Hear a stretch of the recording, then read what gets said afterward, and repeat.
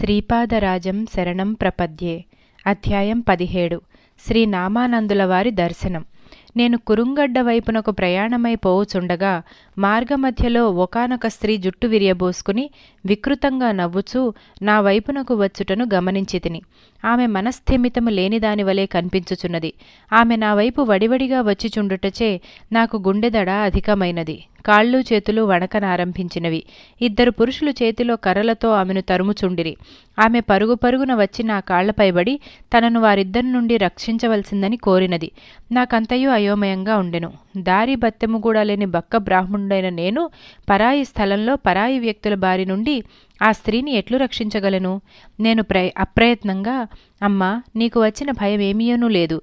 నీ దుర్మార్గుల బారి నుండి శ్రీపాద శ్రీవల్లభులు నిన్ను తప్పక కాపాడగలరు. నిర్భయంగా లేవవలసినది అని అంటిని. ఆ వచ్చిన ఆగంతకులు నా వంక వింతగా చూడసాగిరి. శారీరక బల సౌష్ఠవములతో తమతో ఏ విధంగా సరిపోలని వ్యక్తి తమను దుర్మార్గులుగా భావించుటే కాక తమ బారి నుండి ఈ స్త్రీని రక్షించదనని దృఢపూర్వకంగా చెప్పుట వారికి ఆశ్చర్యంగా ఉండి వారు ఓ బక్క బ్రాహ్మణుడా మేము ఈ దురాచారిణిని చంపదలిచితిమి. నీవు ఈమెను రక్షింపజాలవు. నీవు మా ప్రయత్నములకు అడ్డు తగిలిన ఎడల నిన్ను కూడా చంపవలసి ఉండును. మర్యాదగా మా దారికి అడ్డు రాకుము అనిరి. నాలో ఏదో అదృశ్య శక్తి ప్రవేశించినట్లు అనుభవమగుచున్నది నా ప్రయత్నం లేకుండా నా మనసులోని తలంపులు కాకుండగా నా నోటి నుండి వాక్కులు వెలువడుచున్నవి. ఆ వెలువడి వాక్కులు కూడా నన్ను ప్రమాదకర పరిస్థితుల్లోకి నెట్టివేయునవి అయి ఉన్నవి. అంతట నేను బ్రాహ్మణ జన్మనెత్తి సిగ్గు లేకుండా గత రాత్రి ఆవును వధించి ఆ మాంసమును భుజించి కళ్ళును త్రావి సకల దురాచారములతో కూడిన మీకు నన్నును ఈ నిరపరాధి అయిన స్త్రీని వధింప ఏమంత కష్టమైన పని కాదు. నేనన్నింటికీ సిద్ధముగానే ఉంటిని. మీ అందు జాలితో పలుకుచున్నాను. మీరు ఈ స్త్రీని వధించిన తదుపరి కుష్ఠువ్యాధికి గురి అగుదురు. కుష్ఠువ్యాధి సోకిన వారికి కామవాంఛ కూడా అధికముగా నుండును. కుష్ఠువ్యాధి కలిగిన వానిని పాము కాటు వేయదు.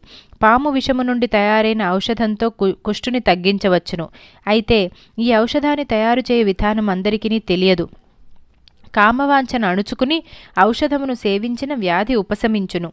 వ్యాధులన్నింటిలోనూ పరమ నికృష్టమైన కుష్ఠువ్యాధి చే పీడితులు కావాలనని మీరు కోరుకున్నచో ఈ స్త్రీని వధింపుడు. నేను మీ హితమును కోరి ఈ మాటలు పలుకుచున్నానని పలికితిని.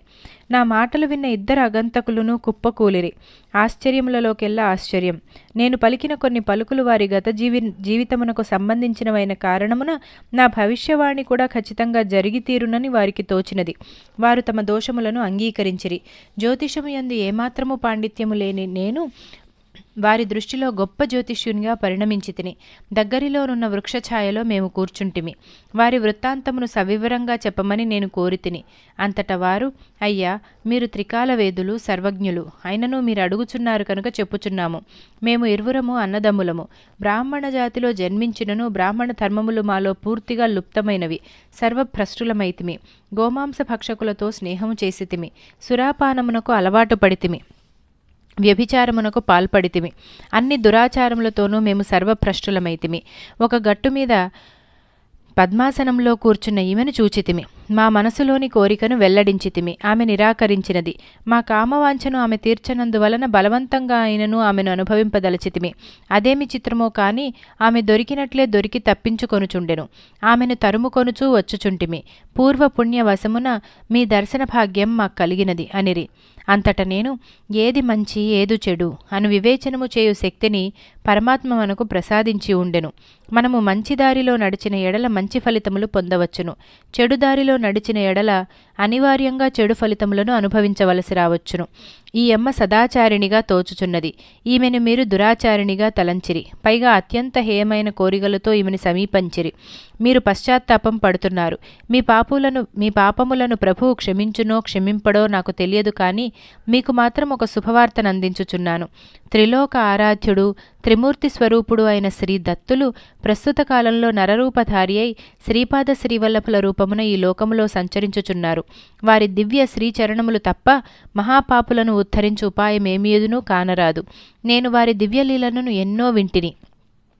వారి ప్రస్తుత నివాసమైన కురుంగడ్డకు ప్రయాణమై పోవుచున్నవాడను. అమ్మ నీ వృత్తాంతము ఎరింగింపుము అని ఆమెను అడిగితిని అంతటా ఆమె అయ్యా తమరు నన్ను ఈ పాపాత్ముల బారి నుండి రక్షించితిరి మీరు నాకు పితృసమానులు. నేను సద్బ్రాహ్మణ వంశమును జన్మించితిని ఊహ తెలియని వయసునందే వివాహమైనది. నా దౌర్భాగ్యమును ఏమని చెప్పను? నా భర్త నపుంసకుడు. క్షణక్షణమును నన్ను వేధింప మొదలెడెను. యవన సంబంధమైన అన్ని కోరికలను త్రోసిపుచ్చి పతినే దైవంగా భావించి సేవించుదానను. నా భర్తకు నన్ను హింసించి ఆనందించుటయనిన సరదా. నాకు పరాయి పురుషులతో సంబంధం కలదని పదే పదే చెప్పుచుండును. నేను సుమంగళి చిహ్నములైన పుష్పమాల్యాదులతో అలంకరించుకొనిన విటుని కోసమై వేచి ఉంటిననియు. అలంకరణరహితంగా ఉన్నచో విధవరాలు వరే అమంగళంగా ఎందుకు కనిపిస్తున్నావనియు. గృహమునందల చిన్నపిల్లలను మురిపిము చేయునెడల నీవు పిల్లలు కలుగలేదని చింతాక్రాంతవై లోలోన కుములుచున్నావనియు. నేను సమానంగా భోజనం చేసినను నీవు చాలా ఎక్కువగా భోజనం చేసి ఇల్లు గుల్ల చేయుచున్నావనియు. అన్నం తక్కువగా తిన్నచో అత్తవారింట భోజనమే లభించుటలేదని ఇరుగు పొరుగువారు అనుకొనవలెనని తక్కువ తినుచున్నావనియు. ఉపవాసం చేసిన ఎడల నా పీడ వదిలించుకొనుటకు రహస్యంగా ఏదో మంత్రమును జపిస్తూ ఆ మంత్రాధిష్టాన దేవత ప్రీతి కొరకు ఉపవసించుచున్నావనియు. నా భర్త నన్ను మానసికంగా ఎంత హింసించుచున్నను అత్తగారు కాని మామగారు కాని ఇంటి అందున్న తక్కిన పెద్దలు కాని నా భర్తను పల్లెత్తు మాట అనరు. ఈ భూలోకమను ఈ భూలోకమునందు నరకమనున్నది ఎట్లుండునో నా అత్తవారింట అనుభవంలో తెలుసుకుంటిని. ఈ విధంగా కాలము నాకు విషాదభరితంగా నడుచుచుండెను అని తెలిపినది. ఇంతలో మా గ్రామమునకు ఒక మంత్ర తంత్ర శాస్త్రజ్ఞుడే తెంచెను. అతనికి జ్యోతిష శాస్త్రమందు కూడా విశేష పాండిత్యము కలదని ప్రచారం జరిగెను. మా అత్తమామలు వానిని మా ఇంటికి ఆహ్వానించిరి. అతడు ఏవో లెక్కలు వేసి చిత్ర విచిత్రమైన పూజలు చేసి ఈమె నష్టజాతకురాలు. అనేక అమంగళ యోగములు కలది. ఆ యోగ ప్రభావమున భర్తకు నపు నపుంసకత్వం వచ్చినది. ఈమెను ఇంటి నుండి వెళ్ళగొట్టినచో అమంగళములు తొలగిపోవును. నేను చేయు మంత్రతంత్రములు పూజా విధానములు అక్కరకు వచ్చును. బాలకునికి నపుంసకత్వం పోవును. తిరిగి అతనికి వివాహం చేయవచ్చును. ఆ తరువాత తప్పక సంతానయోగం కలుగును అని చెప్పెను. దయా దాక్షిణ్యరహితులైన నా అత్తమామలను ఇంటిలోను వారును నా భర్తయును నన్ను ఇంటి నుండి తరిమివేసిరి. నేను గత్యంతరం లేక కనీసం పుట్టింటికైనను కాలినడకన పోవుదమని బయలుదేరితిని ఇంతలో మా ఇంటికి వచ్చిన కుహనా మాంత్రికుడు నాకు దారిలో అడ్డుపడెను. తుచ్చమైన తన కామవాంచకు నన్ను బలిచేయగోరెను నేను భద్రకాళినై దగ్గరలో ఉన్న బండరాతిని ఎత్తి నా శక్తి కొలది విసరితిని అది వాని నెత్తికి బలముగా తగిలి అతడు అక్కడికక్కడే మరణించెను. హతవిధి నేను స్త్రీనై ఉండి గత్యంతరం లేని పరిస్థితిలో బ్రాహ్మణ హత్య చేసిదని నా మనస్సు మనస్సులో లేకుండెను. నేను పుట్టినింటికి పోయినను నాకు సమస్యలు తప్పవు. నా తల్లిదండ్రులు నన్ను కడుపులో పెట్టుకుని పోషించువారైనను అన్నదమ్ములను వదినెలను మరదళ్ళును ప్రేమతో చూచెదరను నమ్మకం నాకు లేదు. నేను కుహనా మాంత్రికుని హత్య చేయుటను అచ్చటి పామరజనం చూచిరి కానీ వారికి అతని కౌటిల్యం తెలియదు. ఇటువంటి వార్తలు నలుదిశలా శీఘ్రంగా వ్యాపించును. నన్ను విధి ఎచ్చటికి నడిపించిన అచ్చటికే పోయేదను కాక అని తలచి దారి తెన్ను లేక పోవుచుంటిని. ఇంతలో ఒక కాసారం కంటబడినది. నాకు బహు దప్పికగా నుండెను. కాసారములోని నీరు త్రాగి దప్పికను తీర్చుకొంటిని. ఆ కాసారము చెంత ఔదుంబర వృక్షం ఒకటుండెను. ఔదుంబరము దత్తప్రభువుల వారికి అత్యంత ప్రీతిపాత్రమును విషయమును విని ఉంటిని. నాకు శరీరమునందు మైకము క్రమ్ముచుండెను. ఆ వృక్షమూలమునందే గాఢ నిద్రలోకి జారుకుంటిని. కొంతసేపటి తర్వాత మేల్కొంటిని. మిక్కుటంగా ఆకలి అగుచుండెను. కళ్ళు తెరిచి చూచినంతలో రెండు నాగుపాములు నాకు రెండు వైపులా కాపలా కాయు కావలివాండ్రి వలె ఉండెను. నేను ఆ రెండు నాగుపాములకును నమస్కారము చేసి తిని నా ప్రార్థన మన్నించినవో అన్నట్లు అవి రెండునూ ఎటో పోయెను. నేను దత్త దిగంబర దత్త దిగంబర జయ గురు దత్త దత్త దిగంబర అని పాడుకొనుచుంటిని. దత్తప్రభువులు కేవలం స్మరణ మాత్రముననే ప్రసన్నులై కాపాడెదరని పెద్దలు చెప్పగా విని ఉంటిని. నా అదృష్టము కొలది ఔదుంబర వృక్ష ఛాయలో కూడనుంటిని. నేను శ్రీ దత్తప్రభులకు కృపాఛత్రం యొక్క ఛాయలో ఉన్నట్లు అనుభూతి కలగసాగాను. నా దత్తనామ స్మరణమును తన్మయత్వంతో ఆలకించుచు దారి వెంట పోవుచున్న బాటసారి ఒకడు మేడి చెట్టు ఛాయలో నిలుచుండెను. భయభ్రాంతనైన నేను ఓయి నీవు ఎవ్వడవు. మర్యాదగా ఇచ్చటి నుండి వెంటనే పొమ్ము. నీవు పోకపోయినచో ఇచ్చటనున్న బండరాతినొకటి తీసుకుని నిన్ను చంపివేసెదను. కొలదిసేపటి క్రితమే ఒక కుహనా మాంత్రికుని హతమార్చితిని అంటిని. అందులోకి ఆ నూతన వ్యక్తి చేతులు జోడించి అమ్మ నేను రజక కులమునందు పుట్టిన రవిదాసు అను పేరుగల దత్తభక్తుడను. నేను కురువపురమునందు నివసించుచుందును. శ్రీ గురుదత్తులు ఈ భూలోకమును పావనం చేయుటకై శ్రీపాద శ్రీవల్లభ రూపమున కురువపురమునందు విరాజిల్లుతున్నారు. ఎంతటి దూర దూరములలోనున్న దత్తభక్తులకైనను తాను ఈ భూలోకమునందు అవతరించున్న శుభవార్తను ఏదో ఒక లీలా విశేషంతో తెలియపరుచుచున్నారు. ఇది అనుభవైక వేద్యము. నేను ప్రస్తుతం కురువపురమునకు పోవుచున్నాను. నీకు ఇష్టమైనతో నాతో రావచ్చును. కురువపురం సమీపమునందే ఉన్నది. నేను నా బంధువుల ఇంటికి పోయి తిరిగి కురువపురం పోవుచున్నానని పలికెను. అంతట నేను నీ మాటలను విశ్వసింపజాలను. నీవు చెప్పడు శ్రీపాద శ్రీవల్లభులు ఎవరై ఉన్నది అను విషయం కూడా నాకు అనావశ్యకం. శ్రీపాదుల వారే సాక్షాత్తు దత్తస్వామి అయినచో ఈ దీనురాలిని తమ శ్రీచరణములకు ఆకర్షించి రక్షించెదరు. తాను సాక్షాత్తు దత్తుడనేనని రుజువు చేసుకొనవలసిన బాధ్యత శ్రీపాదుల వారిపైననే కలదు. నేను వారి నామస్మరణ చేయను. నేను దత్తనామమును స్మరించెదను. తదుపరి ఏమి జరుగునో చూచెదను. నీవు తక్షణం ఈ చోటి నుండి వెళ్ళకపోయిన ఎడల నా నుండి ప్రమాదమును ఎదుర్కొనెదవు. అంటిని. అతడు మారు మాటాడక దత్త దిగంబర దత్త దిగంబర శ్రీపాద వల్లభ దత్త దిగంబర అని పాడుకొనుచూ వెడలిపోయెను. తదుపరి ఒకనొక గుట్ట మీద పద్మాసనము వేసుకుని ధ్యానము చేసు చేసుకొనుచుండగా ఈ దుష్టుల బారిన పడి మీ వలన రక్షింపబడితిని. అంతటా నేను అమ్మ శ్రీపాదుల వారి దయ ఉండబట్టే నీవు రక్షింపబడితివి. వారు అంతర్యామిగా ఉండని దేశం కానీ వారి ఎరుకలో లేని కాలం కానీ ఈ దృష్టిలో లేనే లేవు. కార్యకారణ సంబంధములతో ఈ సృష్టిలో వివిధ దేశములలో వివిధ కాలములలో వివిధ సంఘటనలు జరుగుచుండును. సర్వ కారణములకును వారే మహాకారణం. రకరకాల స్థితులలోనున్న జీవులకు వారి పరిణామం నిమిత్తమై వివిధ దేశ కాలములలో వివిధ సంఘటనలు జరుగుచుండును. కారణము లేని కార్యము సృష్టిలో కానరాము. శ్రీపాదుల వారు నిర్గుణులో సగుణులో నిరాకారులో సాకారులో లేదా ఇటువంటి అన్ని స్థితులకు అతీతులో ఎవరికినీ తెలియదు. వారి గురించి వారికి మాత్రమే తెలియను. మనము శ్రీపాద శ్రీవల్లభుల వారి నామస్మరణ చేసుకున్న ఎడల వారి అనుగ్రహమును తప్పక పొందగలము. అన్ని కష్ట నష్టముల నుండి విముక్తిని పొందగలము అని తెలిపిని తెలిపితిని. తదుపరి ఆ బ్రాహ్మణ సోదరులతోనూ సుశీలయ్యను పేరుగల ఈ బ్రాహ్మణ యువతితోనూ కలిసి కురుంగడ్డ వైపునకు ప్రయాణము సాగించుకొనుచుంటిమి. మేమందరమును దత్తనామస్మరణము శ్రీపాద శ్రీవల్లభుల వారి నామస్మరణము చేసుకుంటూ ప్రయాణం చేయుచుంటిమి. చూపరులకు మేము భజన బృందం వలె కనిపించుచుంటిమి. ప్రయాణ మధ్యలో నామానందుడను మహాత్ముని ఆశ్రమమునకు చేరుకుంటిమి. శ్రీ దత్తుడు చండాల వేషమున వచ్చి నామానందులను అనుగ్రహించుట. నామానందుల వారు త్రికాల వేదులని తెలుసుకుంటిమి. వారు మమ్ములను సాదరంగా ఆహ్వానించిరి. శ్రీ నామానందుల వారు ఇట్లు చెప్పసాగిరి. మా నాయనగారి పేరు మాయణాచార్యులు. నా పేరు సాయణాచార్యులు. మాది భరద్వాజ గోత్రము. మేము శ్రీ వైష్ణవులము. నేను సన్యాస దీక్ష వహించిన పిదప నామానందునిగా వ్యవహరింపబడుచున్నాను. నేను తీవ్రమైన వైరాగ్యంతో ఉత్తరదేశమునందలి పుణ్యక్షేత్రములను సిద్ధక్షేత్రములను దర్శించి నన్నుద్ధరింపగల సద్గురువు ఎవరా అను అన్వేషణలో మార్గమధ్యమున పీఠికాపురమునకు వచ్చితిమి. మేము శ్రీ వైష్ణవుల మగుటచే శివారాధనము మాకు సమ్మతం కాదు. మడి ఆచారములకు విశేషంగా పాటించువారము. కుంతిమాధవ దర్శనం చేసుకుని బయటకు వచ్చుచూ చండాలు నొకనిని చూచితిని. చండాల దర్శనమే దుర్భరము. దానికి తోడు అతడు నా సమీపమునకు వచ్చి నామానంద నాకు గురుదక్షిణ సమర్పించి ఇచ్చట నుండి కదులుము అని గద్దించి పలికెను. అంతటా నేను నిర్ఘాంతపోయి తిని ఊరి నడిబొడ్డునందున జనులు ఈ వింతను చూచుచుండిరి. చండాలుడు శ్రీ వైష్ణవ బ్రాహ్మణోత్తముని గురుదక్షిణ నిమ్మని గద్దించుట కలివైపరీత్యం కాక మరేమి అని జనులు అనుకొనిరి. వీడెవడో తాగి వచ్చి ఈ వైష్ణవోత్తమునిపై దౌ దౌర్జన్యం చేయుచున్నాడని మరికొందరు అనుకొనిరి. అంతట నేను ఓయి నీవెవ్వరివో నాకు తెలియదు. అయినను నేను వైష్ణవ బ్రాహ్మణుడను నీవు చండాలుడవు. నా పేరు కూడా నామానందుడు కాదు. నీవు నన్ను దౌర్జన్యంగా గురుదక్షిణను అడుగుట ఏమీయోనూ సబబుగా లేదు అనంటిని. ఇంతకంటే నేను ఎక్కువగా మాట్లాడలేకపోయి తిని వాని కన్నులు చింతనిప్పుల వలె ఎర్రగా నుండెను. వాని ముఖ కవళికలు ఎంతటి వారికైనను హడలు పుట్టించున్నవిగా నుండెను. నా ఈ శాంతవచనములకు వాడు ఎంతమాత్రము లొంగక నీవు నన్ను ఎరుగనని దబ్బురులాడుచున్నావు. ఊరూరా తిరుగుతూ నన్నుద్ధరింపగల సద్గురువు ఎచ్చట లభించునా అని నానా గోత్రముల వారిని ప్రశ్నించుచు పిచ్చి కుక్క వలె తిరుగుతున్నావు. బ్రాహ్మణ జన్మనెత్తి తినని దురహంకార పూరితుడవై సత్యము కానలేకున్నావు. నేనే నీ సద్గురువును. నేను నీకు నామానందుడనడి సన్యాస నామము నిచ్చుచున్నాను. మర్యాదగా నీ దగ్గరున్న సొమ్మంతయు నాకు గురుదక్షిణనిచ్చి అందరూ చూచుచుండగా సాష్టాంగపడి నన్ను గురువుగా అంగీకరించితివా సరి. లేకపోయినా ఈ కత్తితో నీ శరీరమును ఖండ ఖండములుగా నరికి పోగులు పెట్టెదను. నీ రక్తమును పానము చేసెదను. నీ తలను పదే పదే కుళ్ళపొడిచెదను.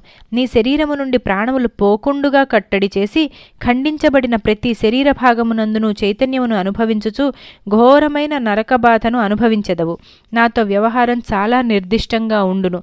అవునన్న అవును కాదన్న కాదు. రెండే రెండు మాటలు. నీవు ముక్కోటి దేవతలలో ఎవరిని ప్రార్థించినను నా నుండి నిన్ను రక్షించుటకు ఒక్కడంటే ఒక్క దేవత కూడా సాహసింపలేడు అని కటువుగా పలికెను. ఈ విధమైన కటువచనములను పలికిన చండాలుడు తన ఒరలోనున్న కత్తిని తీసి నన్ను చంపబోయెను. నేను గత్యంతరం లేని పరిస్థితులలో ఆ చండాలునికి సాష్టాంగ ప్రణామం ఆచరించితిని. నా వద్దనున్న రొక్కమంతయు గురుదక్షిణగా సమర్పించితిని. దైవమునకు సంబంధించిన వర్ణనలన్నీయును నాకు కల్పి కల్పితములుగా తోచెను. అయితే నా ఊహలనన్నింటినీ తలక్రిందులు చేయుచు వారి మోహనమైన దివ్య మంగళ రూపము నాకు దృగ్గోచరమాయను. ఆ దివ్య నేత్రముల నుండి అనంతమైన ప్రేమ కరుణ మహాప్రవాహం వలె ప్రవహించుచున్నట్లు తోచెను. ఆ దివ్య మంగళమూర్తి నేను శ్రీదత్తుడను. ప్రస్తుతం శ్రీపాద శ్రీవల్లభ రూపమున పీఠికాపురంలో అవతరించి తిని. నీవు నావాడవు నేను నీవాడను. నేను నీ సొత్తు నీవు నా సొత్తు. మనిద్దరికీ పొత్తు కలిపినది అదే సత్తు చిత్తు ఆనందము. నీవు నేటి నుండి నామానందుడవై ధర్మ ప్రచారం చేయుచు చిరశాంతిని పొందుము. అంత్యమున నా లోకమునకు రాగలవు అని దీవించెను. నామానందులకు శ్రీపాదుడు స్వహస్తములతో భోజనమిడుట.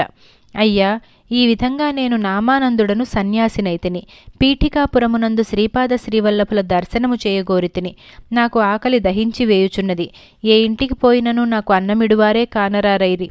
జనులు నా గురించి వింత వింతగా ఇతడొక పిచ్చివాడు.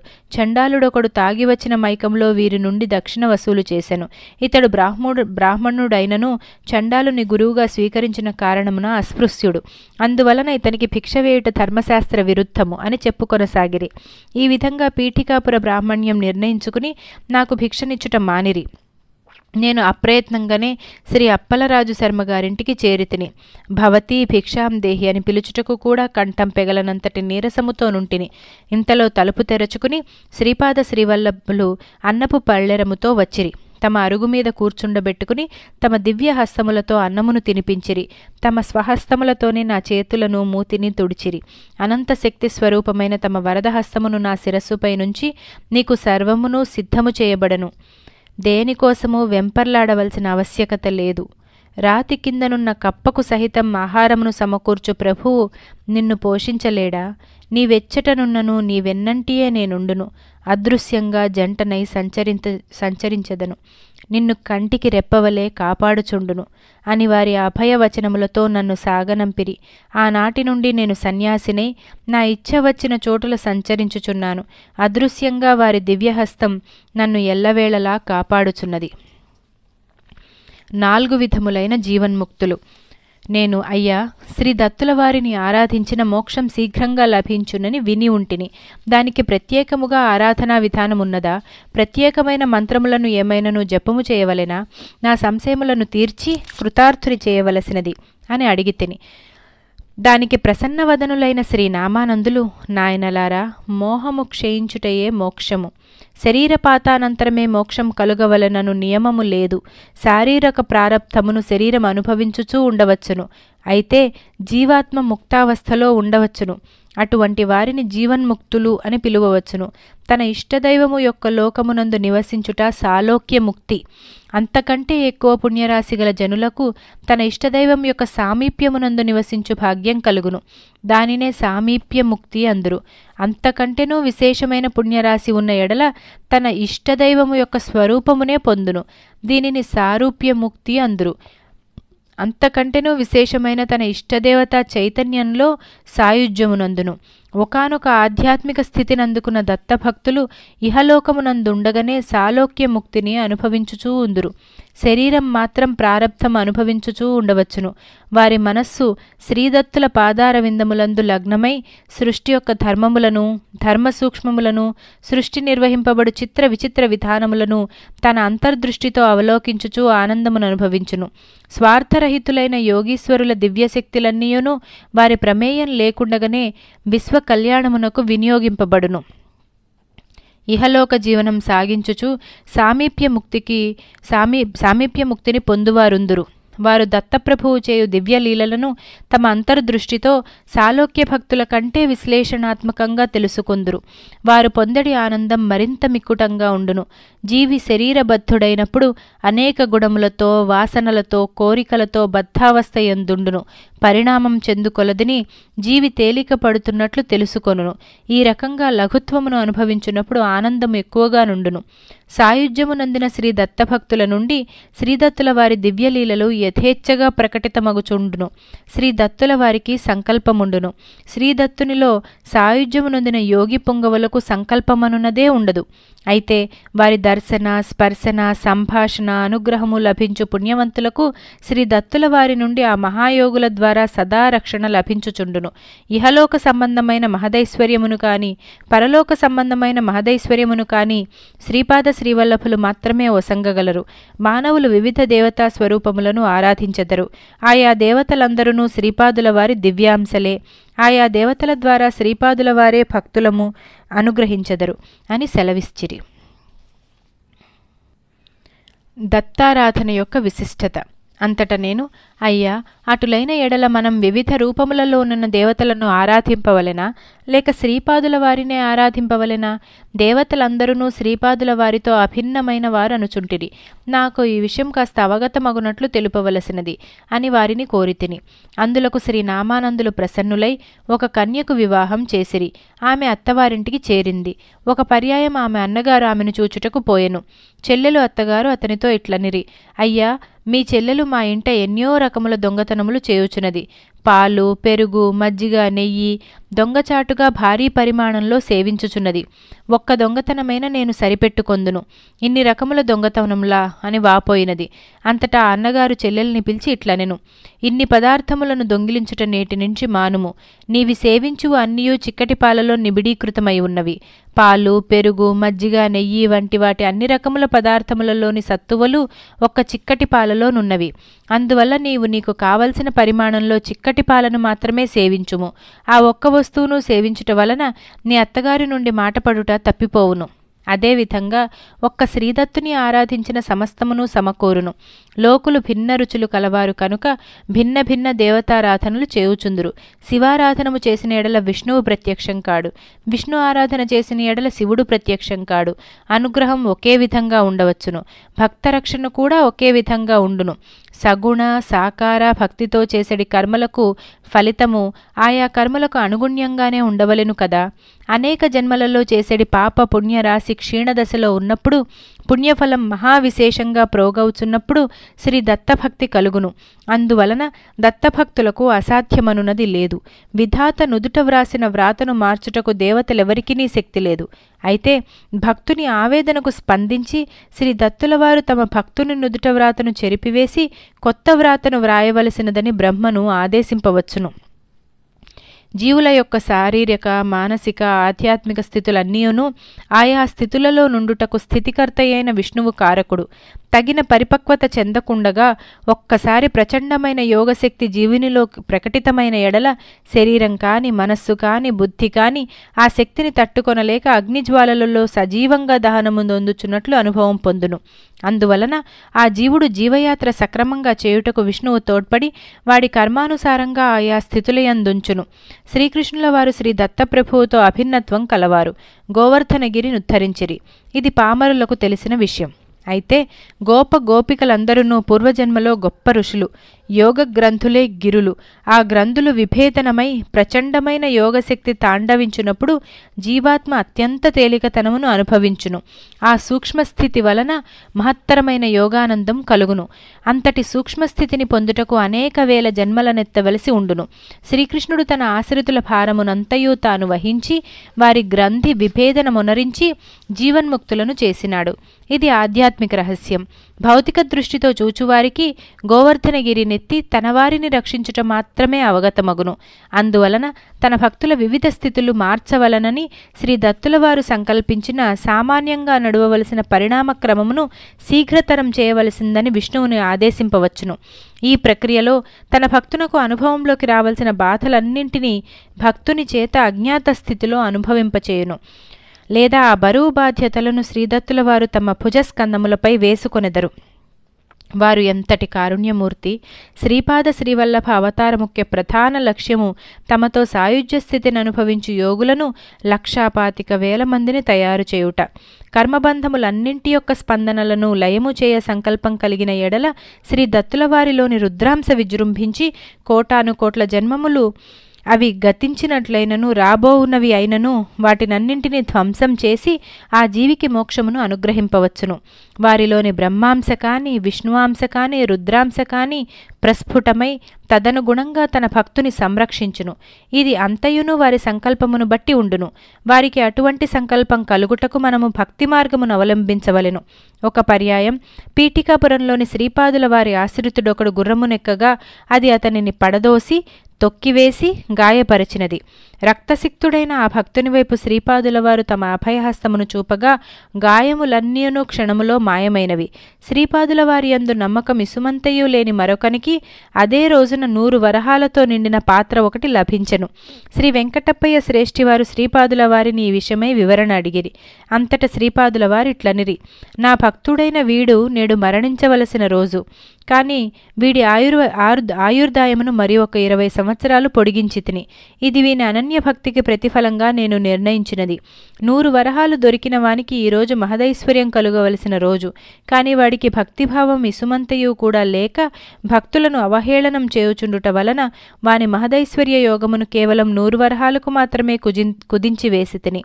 నా యందు కేవల భక్తి కలవానికి నేను దాసాను దాసుడను నన్ను తన హృదయంలో బంధించుకొనగలిగిన వాడే నిజమైన ప్రభువు త్రిలోకాధిపతి అయిన పరమేశ్వరుడు కూడా అటువంటి వానికి దాసుడై సంచరించును. అను సద్విషయములను సందేశములను తెలియపరిచిరి. శ్రీ నామానందుల వారు ఈ రీతిగా సెలవీయగానే మేమందరం ఎంతయో ఆనందభరితులమైతిమి. బ్రాహ్మణ సోదరులు తాము చేసిన పాపకార్యములకు ప్రాయశ్చిత్తము ఉప ఉపదేశింపమని నామానందులను కోరిరి. అంతట నామానందుల వారు మీరు ఏకభుక్తం చేయుచు మండల దీక్షను పాటించుడు. మిక్కుటమైన కాయకష్టం చేసి ధనమును సంపాదించుడు. ఆ ధనమును వ్యయపరిచి సద్బ్రాహ్మణులకు అన్నదానం చేయుడు. అంతట పాపము శమించును. పాపశమనం అయినట్లుగా శ్రీపాదుల వారి దర్శనం సాక్షాత్తుగా గాని స్వప్నంలో కాని పొందగలరు. మండల దీక్షానంతరం కూడా సదాచారులుగానే మీరుండవలను. ప్రమాదవశమున పూర్వపు అలవాట్లకు బానిసలైన పక్షమున మీరు శ్రీపాదుల నుండి రెట్టింపు శిక్షను పొందుట ఖాయము అని తెలిపిరి. అనఘా సమేత దత్తాత్రేయ ఆరాధన పవిత్రము. సుశీలయ్యను ఆ బ్రాహ్మణ స్త్రీ తనకు సంకటహరణమగు ఉపాయమును చెప్పమని నామానందులను కోరినది. అంతట ప్రసన్న చిత్తులైన నామానందుల వారు ఆత్మ నిరంతరాయమైనది. మనస్సు ప్రతి క్షణములోనూ అనేక కోట్ల సార్లు మరణించి తిరిగి పుట్టుచుండును. భార్యాభర్తల సంగమ కాలమున వారిరువులో ఎవరైనా కానీ లేదా వారిద్దరునూ కానీ తమ మానసిక చైతన్యం జీవ నిర్జీవ స్థితుల మధ్య చిక్కుకున్నట్లు అనుభవమును పొందిన ఎడల వారికి జన్మించు బిడ్డ నపుంసకుడగును. పచ్చటి సంసారములను భగ్నము చేయు మహాదోషము వలన మానవునకు నపుంసకత్వం సిద్ధించును. నపుంసక జీవితం మానవునకు నరకప్రాయంగా ఉండును. అన్యోన్యంగా ఉండు దంపతులను విడదీయుట వలను గయ్యాళ్ళతనం ప్రదర్శించి కోడళ్ళను నానా విధములుగా హింసించుట వలను నిర్దాక్షిణ్యంగా శిశుహత్యలను స్త్రీహత్యలను చేయుట వలను నిస్సహాయ స్థితిలో నుండి అనాథుల ఎడల పరమ కర్కసత్వము చూపుట వలను నపుంసకత్వం కలుగుట కాని నపుంసనకు భా నపుంసకునకు భార్యగా అగుట గాని తటస్థించును.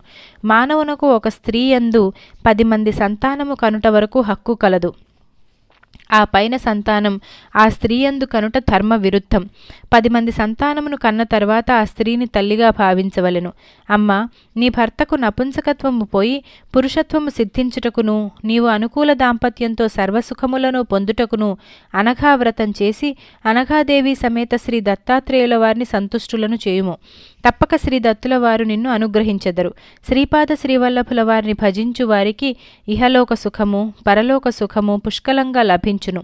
శ్రీ బాపనార్యుల వారు తమ మనుమని సాక్షాత్తు దత్తాత్రేయులుగా దర్శించి సిద్ధమంగళ స్తోత్రమును పఠించిరి. దత్త దర్శనము కలిగిన అనుభూతితో పలుకబడిన అక్షరములు మహాశక్తివంతములు. ప్రతి అక్షరమునందును యుగ యుగాంతముల వరకు చైతన్యం విలసిల్లుచుండును. వాటిలో వ్యాకరణ దోషములు వెతకరాదు. ఈ సిద్ధమంగళ స్తోత్రమును పఠించుటకు ఏ రక ఏ రకమైన విధి నిషేధములునూ లేవు. నేను ఈ స్తోత్రమును శ్రీ బాపనార్యుల నోటి నుండి విన్న భాగ్యవంతుడను. ఆ స్తోత్రం నా మదిలో మెదలుచున్నది. వినండి. సిద్ధమంగళ స్తోత్రము. శ్రీమదనంత శ్రీ విభూషిత అప్పల లక్ష్మీ నరసింహరాజా జయ విజయీభవ దిగ్విజయీభవ శ్రీమదఖండ శ్రీ విజయీభవ श्रीविद्याधरि राधसुरेखा जयविजयी भव दिग्विजयी भव श्रीमदखण्ड श्रीविजयी भव माता सुमती वात्सल्यामृत जयविजयी भव दिग्विजयी भव श्रीमदखण्ड श्रीविजयी भव सत्यऋषीश्वर दुहितानन्दन बापनार्यनुत श्रीचरण जयविजयी भव दिग्विजयी भव श्रीमदखण्ड श्रीविजयी भव సవితృకాఠక చయనపుణ్య ఫల భరద్వాజ ఋషి గోత్ర సంభవ జయ విజయీ భవ దిగ్విజయీ భవ శ్రీమదఖండ శ్రీ విజయీ భవ దోచౌపాతి దేవులక్ష్మీ ఘన సంఖ్యాబోధిత శ్రీచరణ జయ విజయీ భవ దిగ్విజయీ భవ శ్రీమదఖండ శ్రీ విజయీ భవ పుణ్యరూపిణి రాజమాంబసుత గర్భపుణ్యఫల సంజాత జయ విజయీ భవ దిగ్విజయీ భవ శ్రీమదఖండ శ్రీ విజయీ భవ సుమతీనందన నరహరినందన దత్తదేవ ప్రభు శ్రీపాద జయ విజయీ భవ దిగ్విజయీ భవ శ్రీమదఖండ శ్రీ విజయీ భవ పీఠికాపుర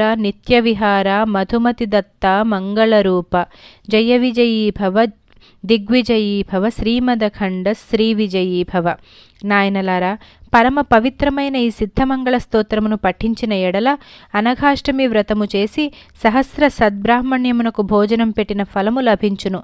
మండల దీక్ష వహించి ఏకభుక్తం చేయొచ్చు కాయకష్టంతో ఆర్జించిన ద్రవ్యమును వినియోగించి సహస్ర సద్బ్రాహ్మణ్యమునకు భోజనం పెట్టిన ఫలం లభించును.